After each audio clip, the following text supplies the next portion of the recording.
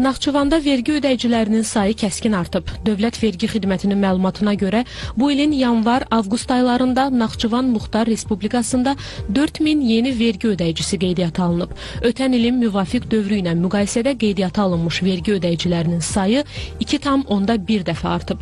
Məlumata görə Naxçıvanda Dövlət Vergi Xidmətinin ƏDV geri al layihəsi də uğurla tətbiq edilir. Bu ilin yanvar-iyul aylarında Naxçıvan Muxtar Respublikasında ƏDV geri al layihəsi çərçivəsində istehlakçılara 373,8 min manat ƏDV məbləği geri qaytarılıb. Xatırladaq ki, alınmış mallara və əldə edilmiş xidmətlərə görə ödəniş nağdsız həyata keçirildikdə əlavə dəyər vergisinin 17,5 faizi, nağd qaydada olduqda isə 5 faizi istehlakçılara qaytarılır.